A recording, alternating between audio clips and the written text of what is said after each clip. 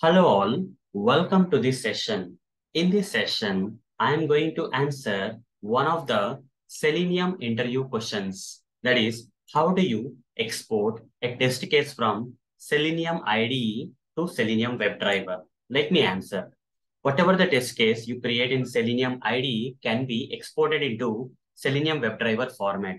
That is possible with the help of one option in Selenium IDE known as export option I'm going to practically demonstrate how to use this export option for the purpose. So for that, I'll open the browser and open one application URL, sample application here. Copy this URL, click on Selenium ID, create a new project, give some project name, sample project name, say OK.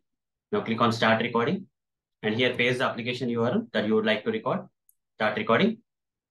Then maximize this. After maximizing, just, you know, click on some search button. Okay do some verification, right click, uh, verify present, right click, new ID, verify present.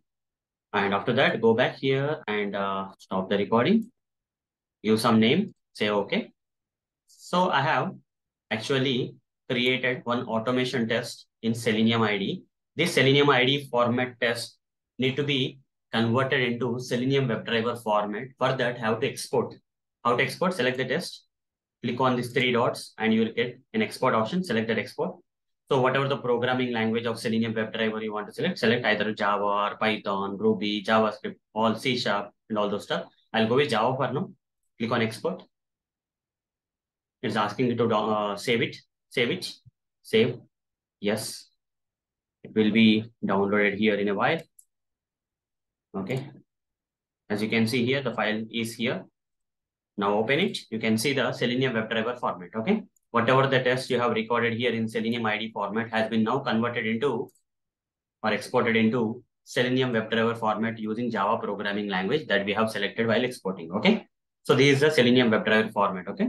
So this is how we can export a test case from Selenium ID format to Selenium WebDriver format in Selenium ID using the export option.